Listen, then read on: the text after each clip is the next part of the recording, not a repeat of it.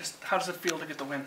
Feels great. Yeah, we uh, uh, had a couple hard weeks of practice there. We focused on some details, and it's great to get results.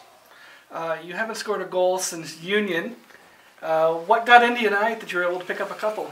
Yeah, I just uh, kind of blocked out there and uh, didn't really know what happened, but uh, it's great to kind of get uh, credit for some some uh, offensive play. But uh, the big thing is we won the game. Three goals from the defense tonight. Um, how are you guys creating opportunities? Yeah, we're just uh, listening to our coaches, trying to work our hardest, and uh, it's really a big thing is just taking shots, and that's that's a big thing they're preaching to us. It's just get the puck through from the point, and uh, that's what we're doing. You guys had 15 shots, so there four in the first period. Were you guys kind of frustrated a little bit that more wasn't getting to the net than wasn't getting through them? Yeah, definitely a little bit of frustration, but uh, that's the game of hockey, and you just have to battle through that. We preach a lot of uh, just keep keep going, 60 minute game, and uh, we're a character team, so we just kept going. Um, you guys have had some, you know, key people go out for defense. Um, how are you seeing your teammates step up? Yeah, definitely. We had great depth. Uh, they do a great job, job uh, bringing players in, so uh, we got a lot of depth on the back end. We're confident with uh, everyone that plays defense for our team, so we're just going to keep it up and uh, work hard.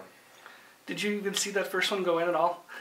Uh, no, I just kind of uh, shot it, uh, saw he went down, and tried to sh- shoot it high there, but uh, lucky it went in. Great screen in front there by Joel. And talk about the second one because you called for that puck and everybody could hear it. So Yeah, yeah, definitely. I just uh, they uh, squeezed down a lot uh, in their D zone, so I knew I could jump in. And uh, Ray Brice and uh, Greyson Reitmeier made great plays and uh, got it to me there, and it was easy little tap in. Um, your D corps is pretty young. Do you feel like at this point in the season that youth matters, or is the experience there? Uh, we're, we're an older group, uh, freshman group, so uh, we're pretty confident with our experience. Obviously, it's uh, next level, but uh, we just we work hard every day, and uh, confidence comes with uh, hard work.